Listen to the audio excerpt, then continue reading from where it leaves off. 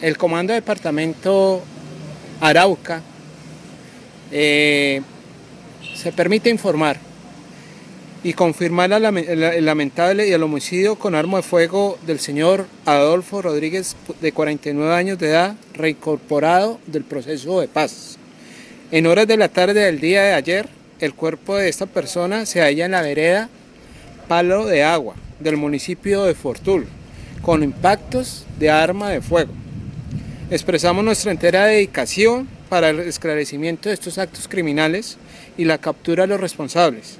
Es de anotar que en este sector eh, Gabor 10, el LN, en todo este sector, directamente. Lamentamos el fallecimiento de esta persona y vamos a establecer el modo, tiempo y el lugar de los hechos. Ahorita estamos por establecer, precisamente fue el día de ayer, el nuestro señor inspector fue a hacer la inspección a cadáver allá en este sector, eh, trajo el cuerpo a, a Saravena, donde dejamos, hizo la inspección, se está investigando los autores, porque ahorita es una hipótesis, no le, pues no le puedo mencionar quién fue.